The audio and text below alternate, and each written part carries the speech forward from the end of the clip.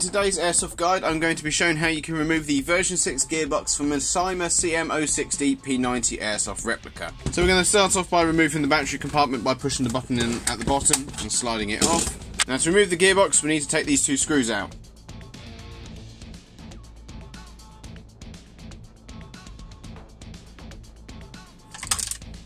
There we are. With those two screws removed, we can now remove this piece of plastic. Now this takes a bit of a knack to do it. You have to sort of pull it upwards like that, and then you can slide it out. And in fact, the gearbox should now just slide out behind it. So to reinstall the gearbox, we just take the gearbox, make sure none of the wires are hanging out too far. And we should be able to just drop it in like so. So now we take this plastic bezel, feed the wire in through like that, and then you want to slide it down like so, so that nut there is sitting right up at the top. Now we can reinstall the two screws in the back.